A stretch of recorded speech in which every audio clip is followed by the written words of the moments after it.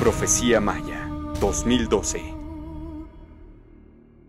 Lo interesante del concepto de ciudades estelares es que considera que el eje principal de la ciudad es el reflejo o es la Vía Láctea. Y eh, de un lado, del lado derecho, está la constelación de Orión con elementos impares y del lado izquierdo o oeste está la constelación de Géminis, que tiene elementos pares. Empecé a ver la correspondencia entre las pirámides y las estrellas del cielo en el momento de la creación, según la mitología maya.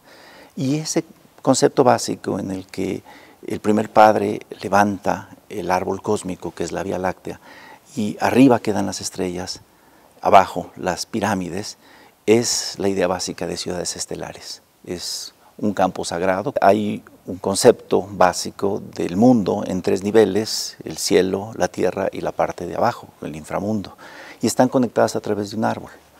Las estelas mayas representan la materialización de, ese universo de tres niveles, con el ajau en medio, representando el árbol cósmico. Y el mejor ejemplo es la ciudad de Palenque, la ciudad maya de Palenque que tiene el grupo de la cruz que construye Cambalam, tiene ah, tres templos en triángulo, uno que representa eh, la parte más alta que representa Venus, el templo de la cruz, luego en la parte media el templo de la cruz foliada que representa la tierra, el maíz, y abajo el templo del sol, que es el templo del dios jaguar del inframundo, que es la luna.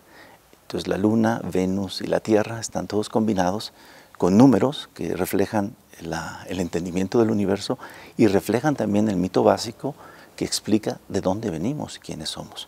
Y quiénes somos como el producto de, de el surgimiento del sol en el maíz, que es el hombre y que eres tú.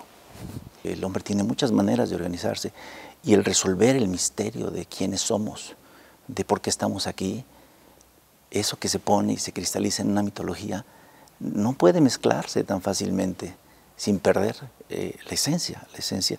Y la esencia para los mayas es un universo basado en estos ciclos planetarios que no se detienen, que no existe ese concepto de que se van a terminar, ¿no? Pero adentro de nosotros eh, hay este, este deseo de saber lo que va a pasar, este temor por el fin del mundo, que no es otro que el, el propio fin del mundo de la muerte. ¿no? La ciencia solamente son números. La ciencia es números, pero también es reconocer que hay sistemas de pensamiento distintos y que tenemos que adoptar los, las premisas de esos distintos pensamientos para poder llegar a ellos. O si no, seguiremos ignorantes pensando que los mayas decían que se iba a acabar el mundo. Y yo creo que si estuvieran aquí los mayas, como en esta sala están presentes, se estarían muriendo de risa. Dirían, pobres, no entendieron nada. En nuestra siguiente entrega. El murciélago fue muy importante en la cultura maya. Al ser un animal de hábitos nocturnos y crepusculares, los mayas la asociaron con la noche, con la muerte, con la oscuridad. Y al haber una especie, el desmodo rotundus, que se alimenta de sangre, lo relacionaron con los sacrificios por decapitación y extracción de corazón.